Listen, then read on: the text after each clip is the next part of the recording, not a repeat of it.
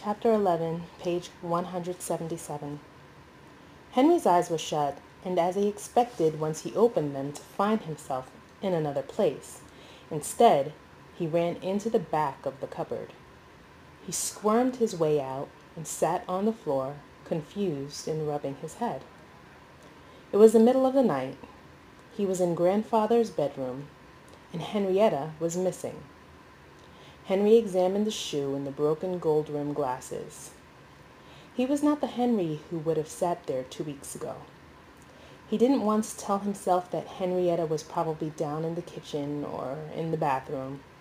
He knew she had gone through the cupboard, and he thought that someone else, someone he may have seen, had gone with her, or taken her.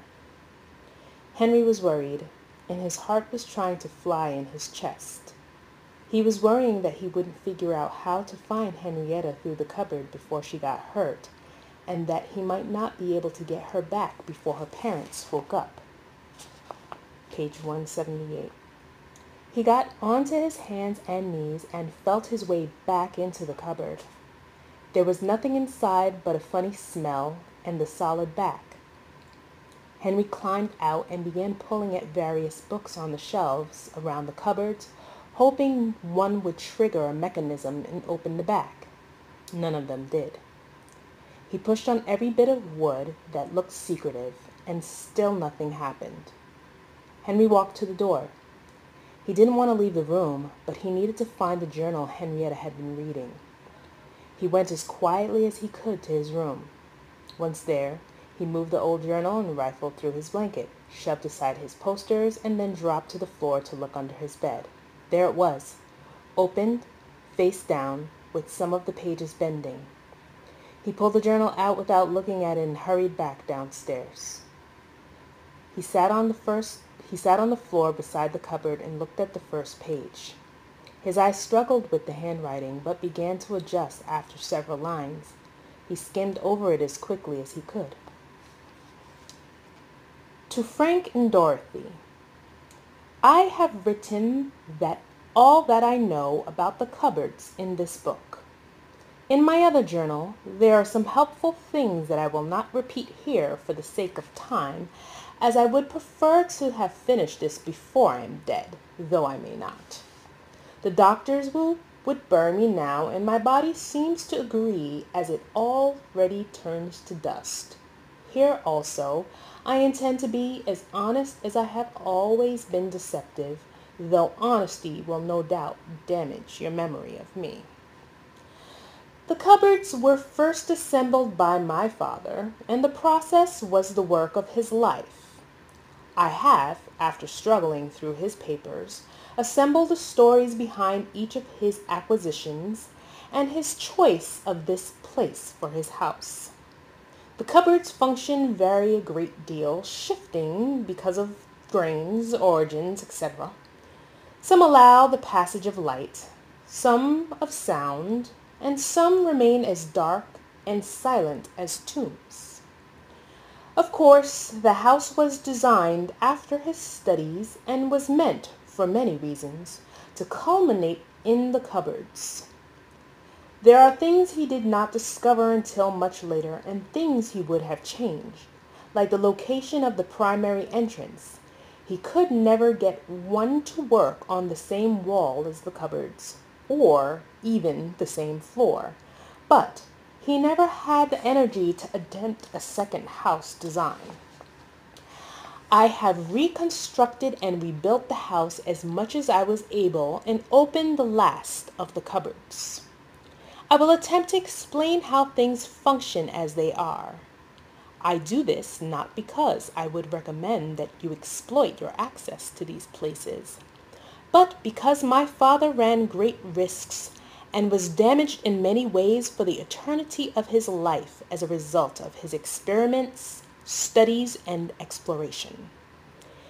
He left me to undergo the same process, making the same discoveries, though I was able to avoid much through a careful reading of his notes. While I would not recommend you attempt any exploration, neither can I tell you not to without hypocrisy. Something you may be surprised to hear, as hypocrisy was at times natural to me. I understand that the cupboards cannot remain hidden forever, and can hardly expect that you have forgotten them, as memories such as the ones you formed as children are not easily struck from the mind's page. You will rediscover the cupboards, and you will find it necessary to explore them. This is written so that you may avoid harm such as possible in such undertakings, but particularly the mistakes made by my father and myself. Henry turned the page, glanced at it, and then, impatient, flipped to the middle somewhere and began reading again. I cannot explain it, and though he was first and foremost a mathematician, he was never able to come up with a stable formula for the passage of time in a cupboard relative to the passage of time here. His journals are littered with attempts. He found that time passed differently through each of them, at varying and apparently inconsistent rates. This by itself accounts for much of my father's sickness, or so he thought. For myself, as I so early chose only one to pass through, I did not experience nearly the temporal upheaval that he did. And of course, after my first experience, I never traveled without the rope, which I have always left coiled beneath the bed. It is not necessary for one with magic, but it was woven elsewhere and aids the mind of the weaker traveler. Henry stood up and walked over to the bed. Beneath it was a pile of brown rope with one end tied to the bed leg. He sat on the edge of the bed flipped toward the back of the book, and found the page Henrietta had shown him. A list of the cupboards, each one next to a compass lock combination. He flipped back a couple of pages. Of course, many combinations lead nowhere. They might, if additional cupboards were found and aligned, but they do not now. When the locks are set to any of these empty combinations, the back of the main cupboard will be as solid as any other. Nothing could pass through it, because it terminates in our own space. The benefits of this, as I quickly learned, was that no thing could pass through from the other direction, either. I could go nowhere, but I also would not wake to find myself sharing a room with the noble hog as happened to me twice before I set the compass locks permanently to what would become my second place. I would never sleep unless the locks were set to an empty combination and the back of my cupboard was solid. This, of course, does not prevent things from entering the cupboards in the attic, but they would need to be very small and also strong enough to force a door open from the inside. The most startling variation of this was on the boy, Henry. Henry coughed and reread the line again. There he was, a simple parenthetical, an offhand comment. His eye flew back over the words and hurried on, hoping for some kind of elaboration. Once I had permanently set the combination with plaster, I would still frequently wedge the door shut when I was not using it. I have copied all the combinations for the cupboards in the next pages. When one of their combinations has been set, you will find no back to my cupboard.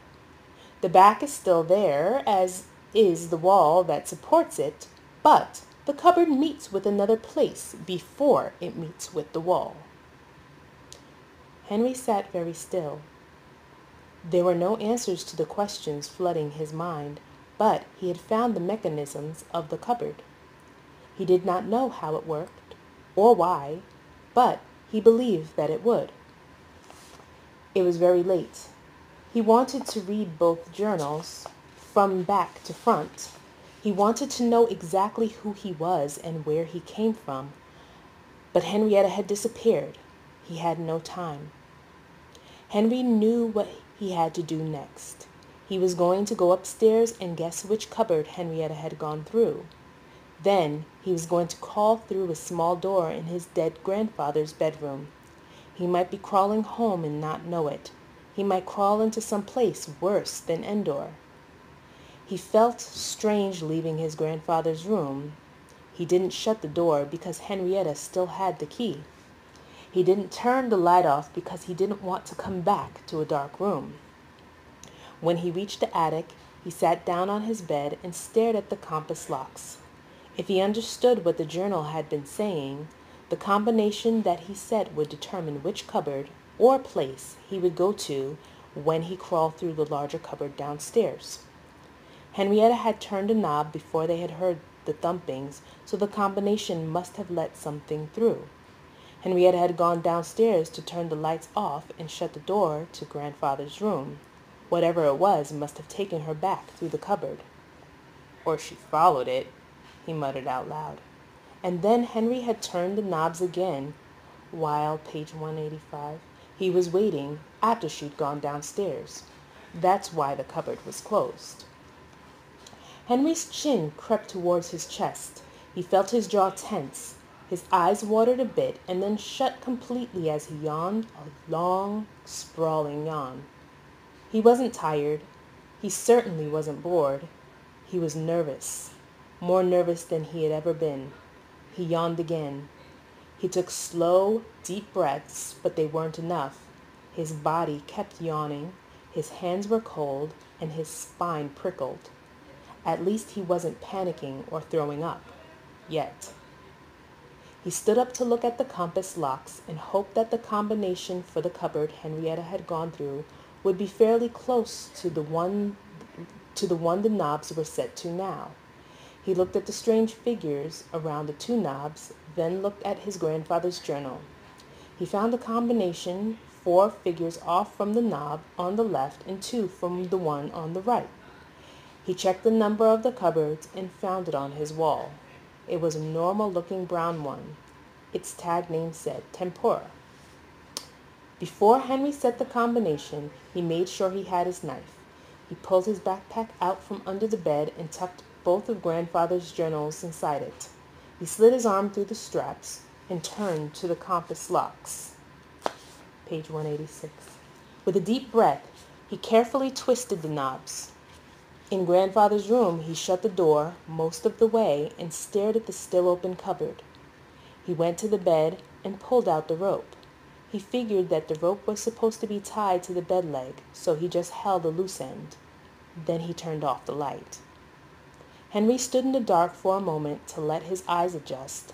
Then he got down on his knees in front of the small door.